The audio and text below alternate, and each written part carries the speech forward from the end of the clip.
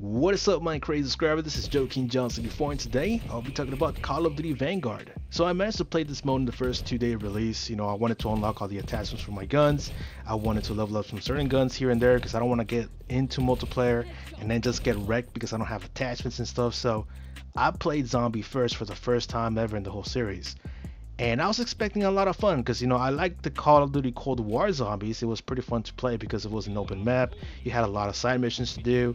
There was a lot of differences in zombies. It was insane. It was crazy. It was difficult, and you can barely survive into the third world. So I like the Cold War zombies, even though I hated the multiplayer.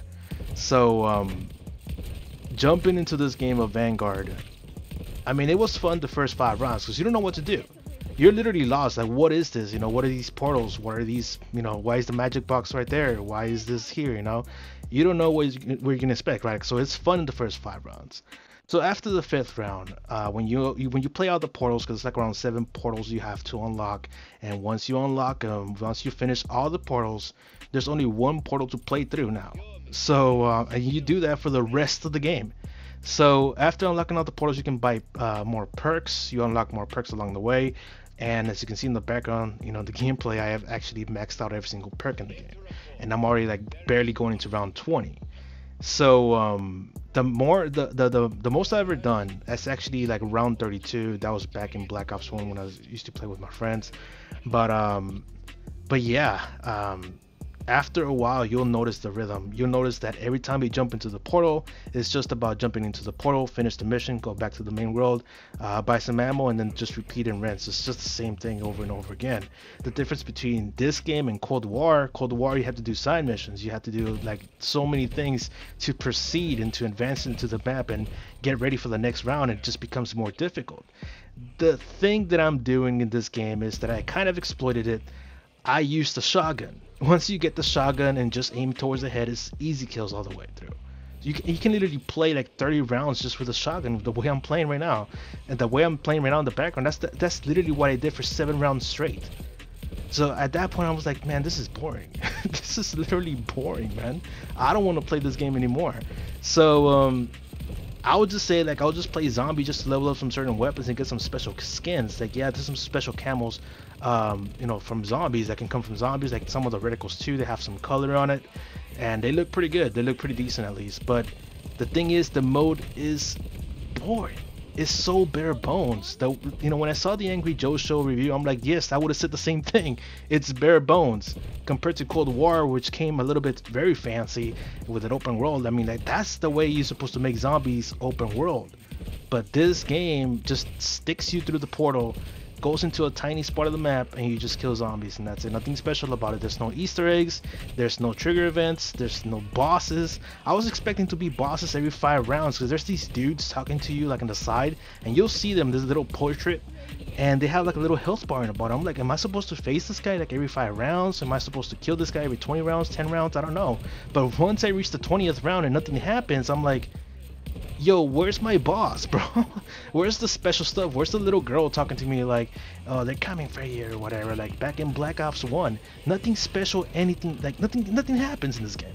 Nothing special happens. Only the gunner, like you'll see it right now in the background of the game. That's the only special boss there is, but it's a mini boss. I want to see a big boss, man. Back when I played World War II and you play the first map and you go into like some certain rounds, you'll face a big ass monster and I have that stuff recorded here in my channel. So uh, where's any of that? so I'm telling you right now, this mode is so casual, so bare bones, it's just not even worth the play.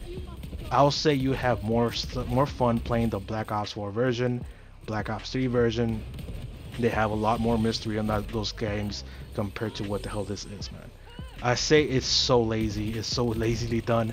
I think this is like something that a modder would do to kind of just play whatever you know stages they made. I don't know, but it, to be honest, like it's not that interesting. It's it's fun the first five rounds because you don't know what to do, but once you play a good amount of rounds, you'll be like, okay, so all I just need is a shotgun maxed out, just aim towards the head, and you get a bunch of kills. That's it.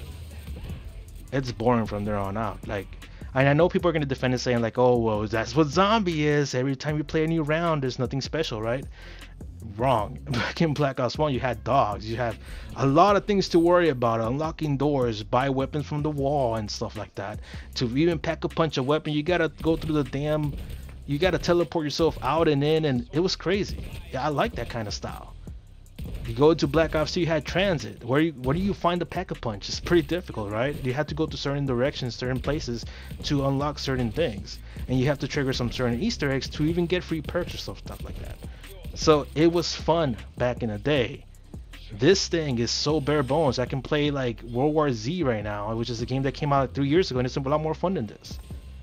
So, um, I mean, if you have fun, I'm not gonna judge you for it. I think whatever your opinion is, I think I guess go for it. I'm, I'm not gonna stop from playing it, but in my opinion, in my experience, it's boring, and I don't enjoy this at all. I'm hoping that the next future DLCs are a lot better than this, because if they let this go through again, nobody's gonna like zombies, bro. Well, certain people don't like zombies. I don't like zombies right now because it's so bare bones. So that is it, guys. That's my review about this mode. Uh, what do you guys think? If you guys like it, I guess so. You know, go ahead and play. But I'm not gonna play this mode. I think uh, maybe a few more times just to unlock some certain camos from some, some uh, from some certain guns. But that's about it. You know, that's that's as far as I go. So. Anyways, so that is it, guys. Leave a like, subscribe for more, and I'll see you guys next time.